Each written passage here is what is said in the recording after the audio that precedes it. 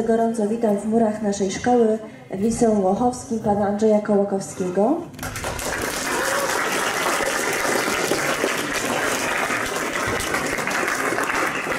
Myślę, że po e, spotkaniu e, będziecie mieli takie odczucie jak ja po 15 minutach, że to niesamowity człowiek, patriota, e, który przyjechał do nas z Gdańska, jest jednocześnie wykładowcą na tamtejszym uniwersytecie. Spotka się tutaj z Wami, myślę, że przez godzinkę czasu, że będzie to czas bardzo głęboki, refleksyjny i myślę, że rozpali Wasze serca e, i ewentualnie mm, może przyczyni się do poszukiwania e, prawdy. E, bardzo gorąco witam również pana Roberta Gołaszewskiego, radnego Rady Miejskiej w Łochowie, który jest inicjatorem i organizatorem tego spotkania. Panie Andrzeju, życzę, aby dobrze się Pan czuł wśród naszej młodzieży, w naszej tej szkole dobrych y, odbiorców, a Państwu życzę głębokich przeżyć i zapraszam na spotkanie. Jeszcze ja może chwilę. 1 marca obchodziliśmy Narodowy Dzień Pamięci Żołnierzy Wyklętych i właśnie z tego powodu spotkaliśmy się tutaj, aby posłuchać koncertu pana Andrzeja. Żołnierze wyklęci byli to tacy żołnierze, którzy zostali wyklęci właściwie przez komunistyczną propagandę. E, zostali nazywani bandytami, mordercami, a to wszystko dlatego, że po, po II wojnie światowej nie złożyli broni. Sprzeciwili się reżimowi komunistycznemu, który, który został siłą wprowadzony do naszego kraju. Nie poszli na żadne kompromisy i za to zapłacili najwyższą cenę. E, warto również przypomnieć, że na naszych terenach działał żołnierz wyklęty, mianowicie Hieronim Piotrowski, pseudonim Jur. E, został on e, złapany w Brzuzie, tam też zginął. Tam też w Brzuzie jego imię nosi szkoła podstawowa i również jest teraz obecnie kręcony film o nim, który ukaże się na jesieni tego roku. I z tej okazji chcielibyśmy zaprosić Państwa na koncert, bo jak brzmi tekst z jednej z piosenek Pana Andrzeja, Przysięgali oni na orła i na krzyż. Powitajmy jeszcze raz brawami Pana Andrzeja. Dziękuję bardzo.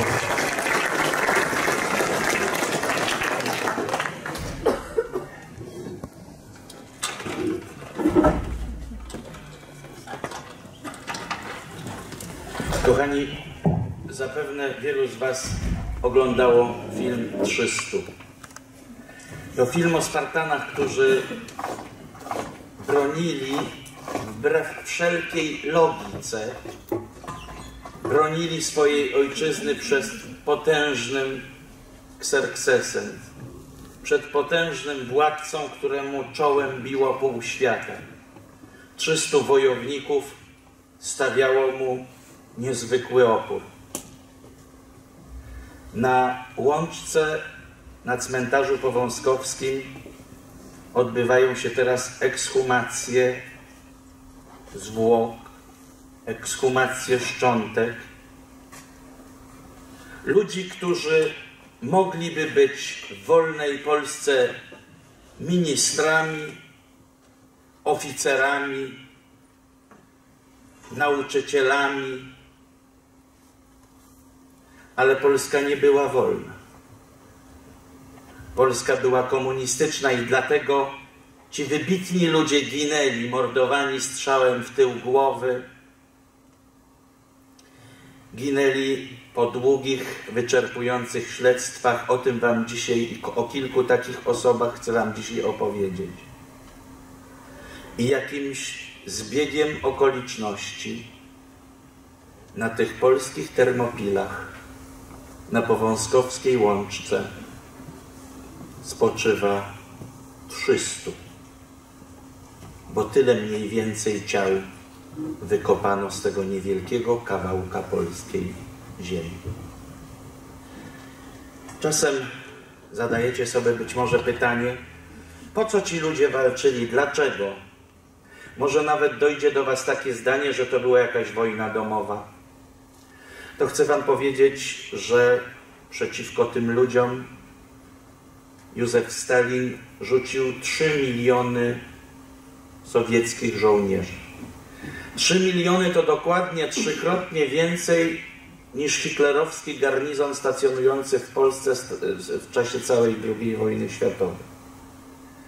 Józef Stalin do walki z tymi kilkudziesięcioma tysiącami żołnierzy rzucił połowę aparatu bezpieczeństwa, który stacjonował w całej Europie podbitej przez Związek Sowiecki. A oni walczyli wbrew logice, wbrew rozumowi, można by powiedzieć w cudzysłowie. Ale tak jak powiedział was wasz kolega, oni złożyli przysięgę, której złamać nie można. Przed sądami komunistycznej, przed sądami komunistycznymi w Polsce byli oskarżani o wierność Panu Bogu, Ojczyźnie, swoim kolegom, wyznawanym ideałem. Oskarżeni o wierność to pieśń o tym, że jeśli nie stracimy pamięci, to zyskamy coś wielkiego.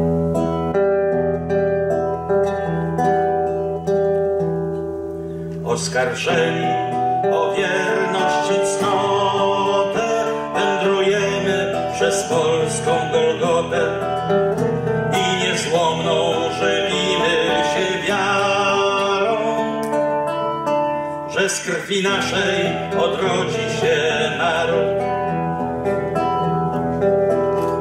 Los nam drogę wyznaczył Auschwitz, Charków i Katyń,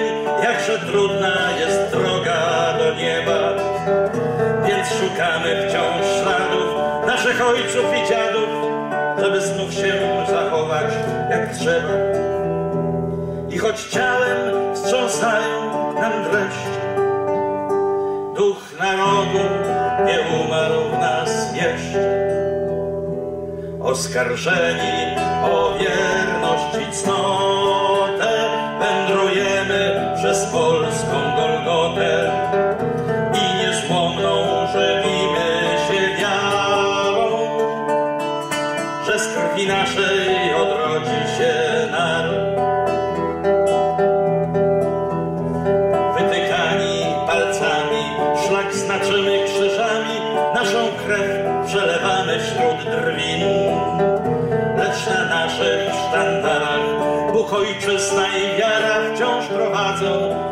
matka i.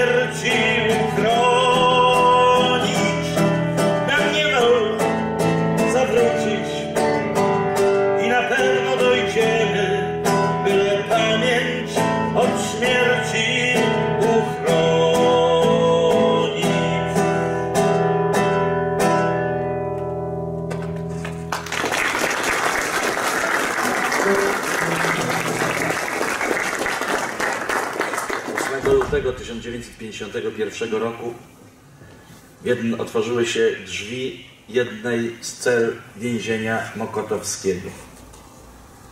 padło nazwisko Szędzielarz. Pan major wstał, podszedł spokojnie do drzwi, odwrócił się i swoim zwyczajem powiedział z Bogiem, panowie. Z Bogiem, panie majorze, odpowiedział mu chór głosów. Drzwi celi zatrzasnęły się. Zrozumieliśmy wtedy, wspomina świadek tego wydarzenia, że komuniści rozpoczęli swoją rozprawę z dowództwem eksterytorialnego ośrodka mobilizacyjnego Wileńskiej Armii Krajowej. O godzinie 20.15 strzałem w tył głowy został zamordowany major Zygmunt Szędzielarz, pseudonim Łupaszka, oficer czwartego pułku oddziałów zaniemeńskich, absolwent Centrum Wyszkolenia Kawalerii w Grudziądzu, dwukrotny kawaler Orderu Virtuti Militari, skazany na osiemnastokrotną karę śmierci, dowódca piątej Wileńskiej Brygady Armii Krajowej. 15 minut potem wyprowadzono Antoniego Alechnowicza. Pułkownik Antoni Olechnowicz, dowódca Nowokróckiego Okręgu Armii Krajowej, a później dowódca eksterytorialnego ośrodka mobilizacyjnego. Wybitny oficer września, wybitny oficer całej konspiracji niemieckiej. Przedarł się do Anglii, wrócił do kraju. O 20.30 został zamknięty głowy przez ledwo piśmiennego Aleksandra Dreja. 15 minut potem wyprowadzono porucznika Lucjana Minkiewicza, pseudonim Wiktor, dowódca 6 Wileńskiej Brygady Armii Krajowej. W ten sposób zakończyła się epopeja chłopców i dziewcząt z Wileńszczyzny. Rozstrzelana armia to utwór, który poświęciłem żołnierzom brygad wileńskich.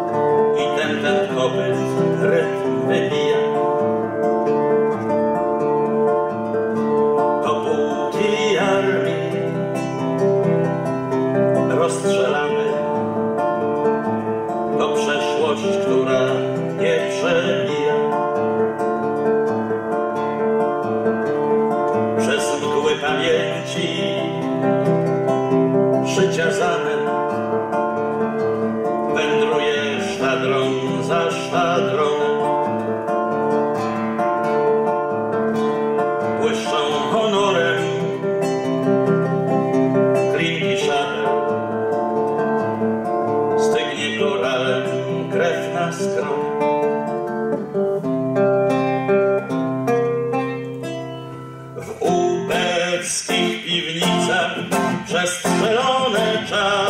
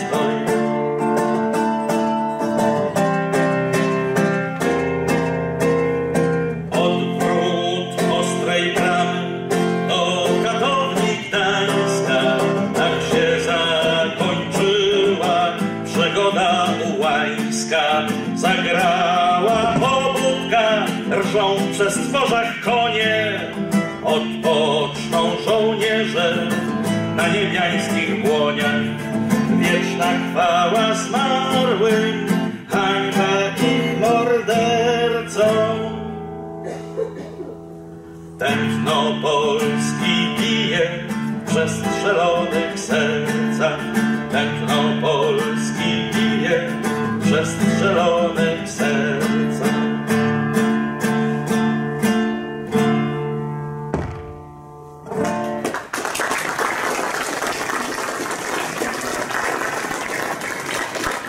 Kiedy stawała przed plutonem egzekucyjnym, miała tyle lat co wy. 17. Może niektórzy z was są starsi, może niektórzy młodsi. Danka Siedzikówna miała 17 lat, kiedy stanęła przed plutonem egzekucyjnym, kiedy stanęła w perspektywie wyboru między życiem a śmiercią. Za życie trzeba było zapłacić okrutną cenę, zdradę. Zastanówcie się przez chwilę, co byście powiedzieli sobie, co chcielibyście napisać do domu, gdybyście wiedzieli, że to już za kilka dni.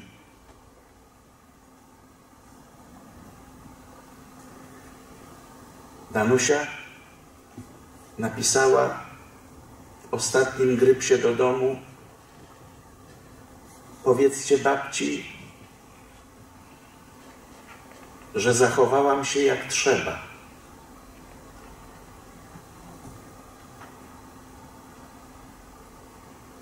Ostatnie słowa, jakie wypowiedziała w życiu, brzmiały: Niech żyje Polska, niech żyje Łupaszko. Ostatnie słowa, jakie usłyszała, brzmiały: Po zdrajcach ojczyzny serią ognia. Ale z egzekucją Danusi wiąże się jeszcze jedna historia. Kiedy przyszedł pluton egzekucyjny, bandyci z Korpusu Bezpieczeństwa Wewnętrznego, ludzie, którzy wynajęli się, oni przyszli zamordować tę dziewczynę, żeby dostać dwa tygodnie urlopu, tak po prostu. Naczelnik więzienia, kiedy ich zobaczył, zaczął wyciągać naboje z bębnów Pepeszy. Pepesza ma 72 naboje w magazynku. Zostawił im po 10. Kiedy pracownik Instytutu się za, za, zapytał, dlaczego pan to zrobił, powiedział, wie pan, człowiek to nie maszyna. Człowiek to istota z duszą. Ja sobie pomyślałem, że jak oni spojrzą tej dziewczynie w oczy, to oni wygarną do nas. Nie wygarnęli, proszę Państwa. Ale od plutonu egzekucyjnego do Danki odległość była mniej więcej taka jak ode mnie do trzeciego rzędu. Sto kul wystrzelonych w stronę tej dziewczyny nie trafiła ani jedna. Nikt nie miał odwagi strzelać do niej, patrząc jej w oczy. Przyszedł urzęd, ona padła ogłuszona hukiem, podszedł urzędnik, e, oficer Urzędu Bezpieczeństwa, strzelił jej w głowę. Dostał za to 3,5 tysiąca złotych premii i dwa tygodnie urlopu. Tyle było wówczas warte życie nastolatki. Inka 1946.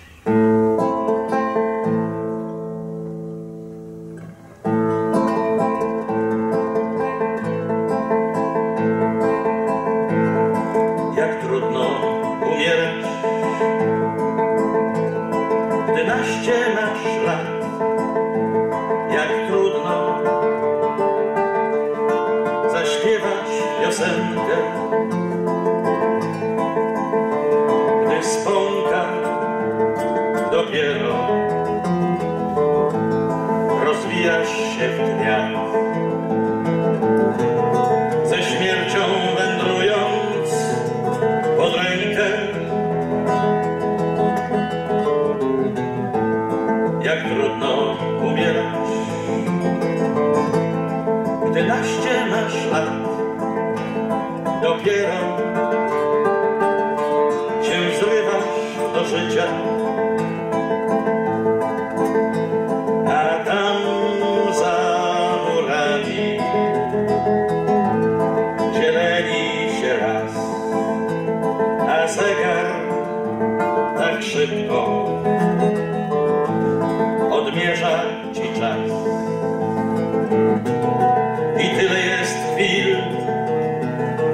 życia.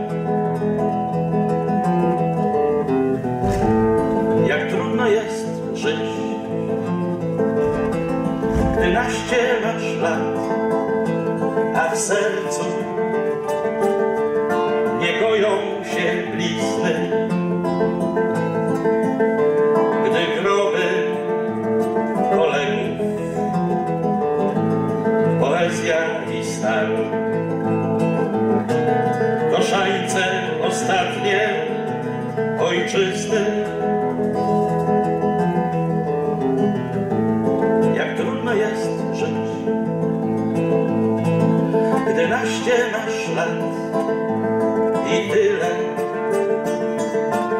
do życia masz pytań, a ktoś zasiekami podzielił twój świat i drogi do domu nie widać za krat. A serce goryczą ze śmiercią pod rękę. Ostatni już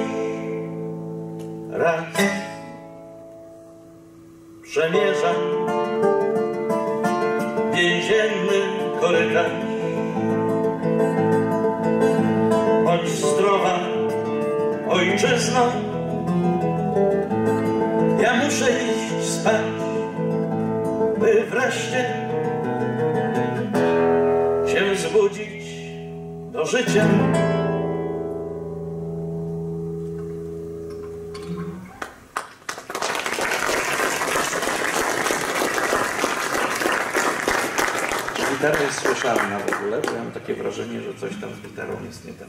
Słuchacz tak robi. E, major Hieronim Dekutowski, pseudonim Zapora, zginął 7 marca 1949 roku w ten sam sposób, co jego e, koledzy, czyli został zamordowany w więzieniu mokotowskim strzałem w tył głowy. Cichociemny. Ci z Was, którzy oglądali Czas Honoru, wiedzą, że cichociemni to byli żołnierze, którzy w Anglii, wyszkoleni w Anglii, skakali tutaj do Polski na spadochronach, żeby tworzyć konspirację. Major Zapora dowodził oddziałami partyzanckimi na Lubelszczyźnie. Kiedy przyszła, skończyła się okupacja niemiecka i rozpoczęła się okupacja sowiecka, kontynuował walkę. Bo on składał o przysięgę, która zobowiązywała go do wyzwolenia Polski. A to, co przyszło w 1944 roku, z całą pewnością wyzwoleniem. Obozy koncentracyjne, opustoszałe obozy koncentracyjne niemieckie zapełniały się więźniami, tym razem żołnierzami Armii Krajowej. Majdanek pełny był żołnierzy Armii Krajowej. Na Zamku Lubelskim katowni gestapo katowano jego kolegów. Kto wracał z lasu do domu, był natychmiast aresztowany. Izabela Kochanowska, łączniczka zapory, wspomina, że kiedy siedziała w więzieniu, wrzucono jej do celi dziecko, trzynastoletnie. Dziecko było tak skatowane, że od pięt do szyi na ciele tej dziewczynki nie miała, nie było białego kawałka, nie była nawet sina, było czarna. Tak Urząd Bezpieczeństwa zapłacił jej za to, że ostrzegła kapitana Uskoka, że w herbacie znajdują się środki usypiające. Taka była ówczesna Polska. Major Zapora zginął mając 30 lat. Kiedy szedł na egzekucję, miał siwe włosy, jak starzec. Nie miał zębów, jak starzec. Wszystkie wybito mu w śledztwie. Miał pozrywane paznokcie. Zamordowany strzałem w tył głowy 7 marca 1949 roku. Ballada o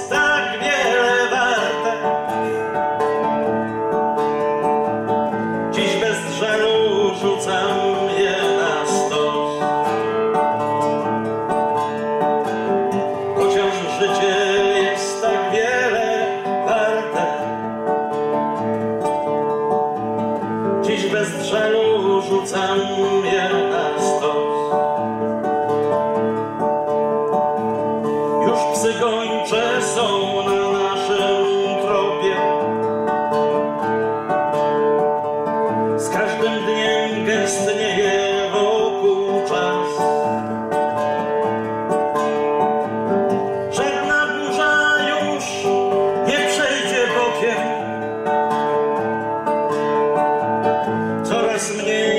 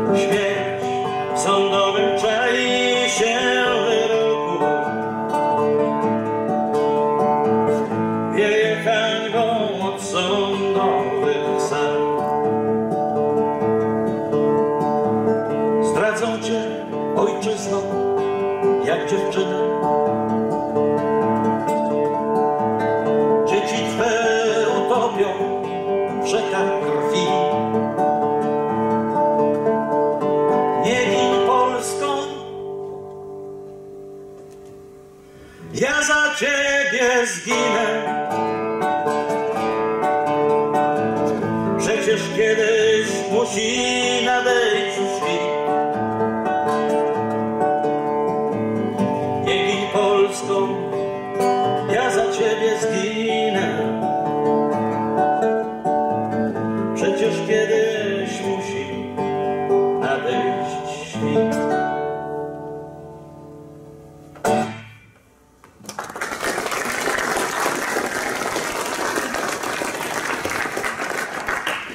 pojedziecie do Zakopanego, naprzeciwko dworca stoi bardzo piękny pomnik. W skałę wbity szczerbiec, miecz koronacyjny królów polskich, a z rękojeści szczerbca wzbija się ku niebu orzeł. To pomnik majora Józefa Kurasia, pseudonim Ogień. To góral. Jaki pseudonim mógł nosić góral? Orzeł.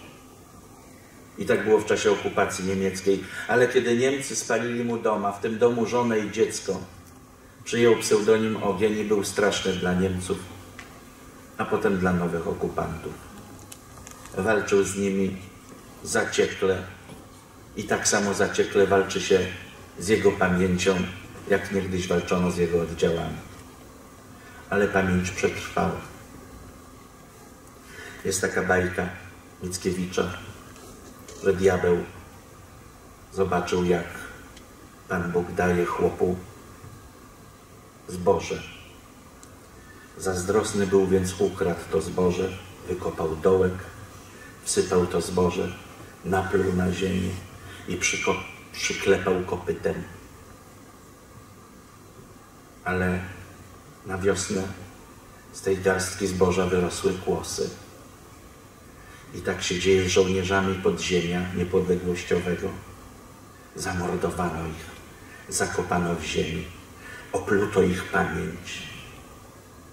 Ale dziś z tej ziemi wyrastają kłosy.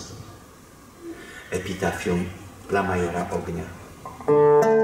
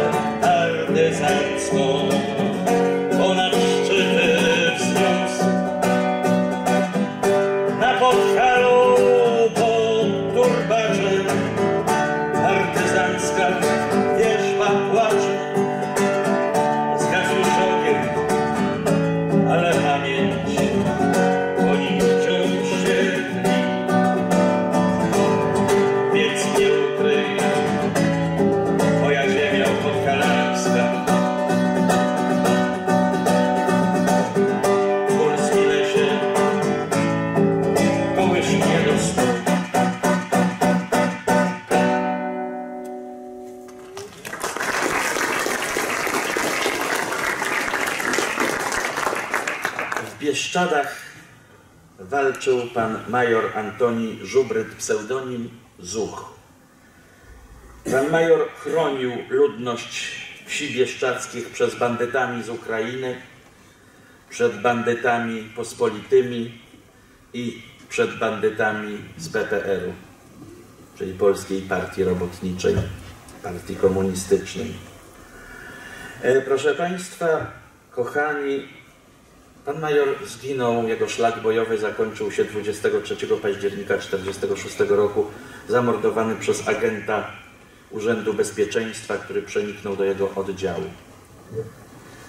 Po latach odbywał się proces mordercy majora Żubryda.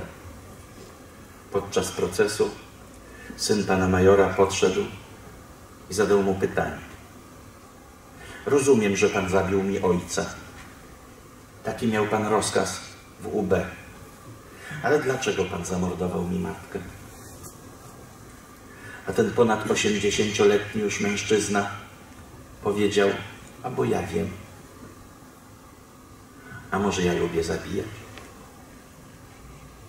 A przy innej okazji dodał, a dostał pan odszkodowanie za rodziców? To powinien mi pan być wdzięczny za to, co zrobiłem. Tak się dzieje. To jest mentalność funkcjonariusza Urzędu Bezpieczeństwa po 60 latach. Do syna pana majora jeszcze wrócę, bo to też bardzo interesujące. Gdy się dla was skończy wojna.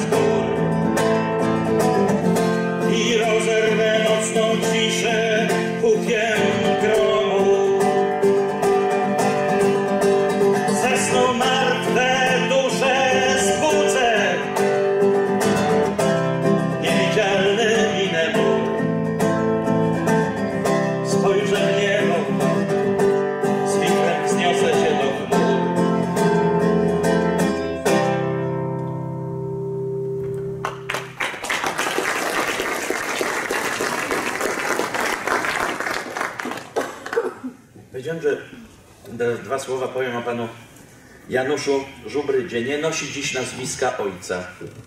Warto o nim wspomnieć, bo to najmłodszy więzień reżimu komunistycznego. Kiedy Powiatowy Urząd Bezpieczeństwa w Sanoku wydał na niego nakaz aresztowania, miał zaledwie 5 lat. Aresztowano go pod zarzutem współpracy z bandą ojca. Chodziło oczywiście o to, żeby poddał się major Zuch. I to mogłoby być nawet śmieszne, gdyby nie fakt, że pan Janusz spędził w więzieniu pół roku. Gdyby nie fakt, że wypuszczono go dopiero kiedy zamordowano mu rodziców. I gdyby nie fakt, że oddano go do domu dziecka, mówiąc rodzinie, że wychowają go na takiego samego bandytę jak ojciec. Ciotka wykradła pana Janusza z tego domu dziecka. Wychowała go pod swoim nazwiskiem. Dziś mieszka niedaleko Zielonej Góry. Krzysztof Szwagrzyk, profesor Krzysztof Szwagrzyk, który prowadzi poszukiwania na Łączce, poprosił mnie kiedyś, żebym napisał piosenkę dla dzieci, które siedziały w więzieniu. Bo pan Janusz nie był jedyny. Siedziały jeszcze młodsze dzieci. Te, które rodziły się w więzieniu, bo matki były aresztowane w ciąży.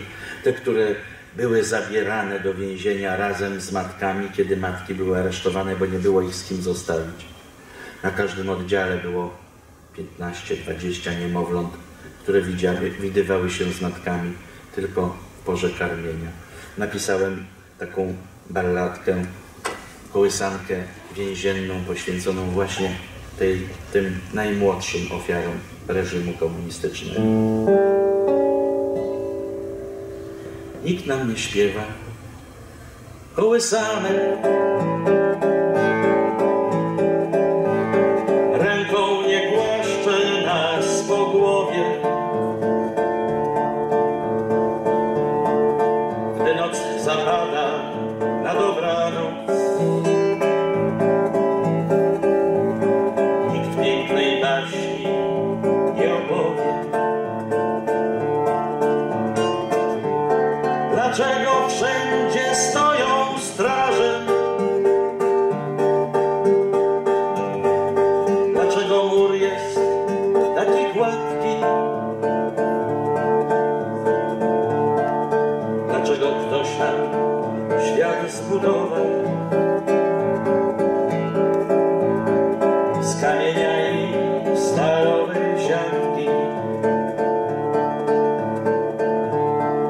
Słyszałem wczoraj na spacerze,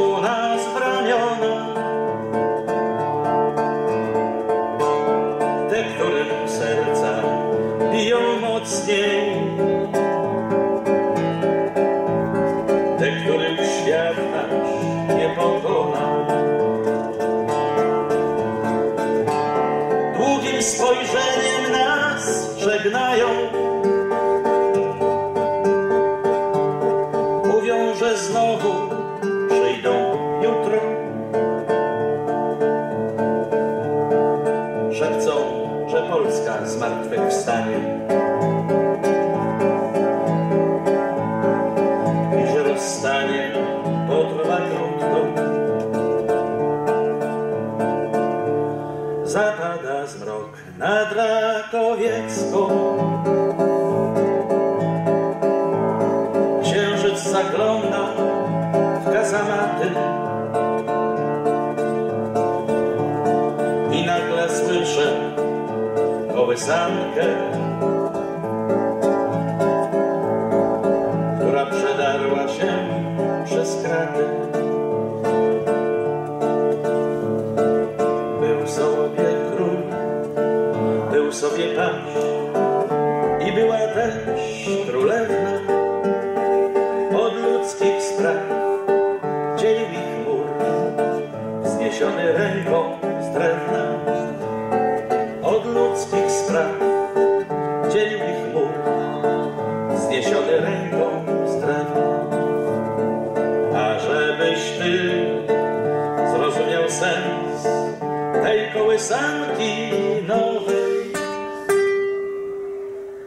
Z wilu był król, paść NSZ, królewna z armii krajowej.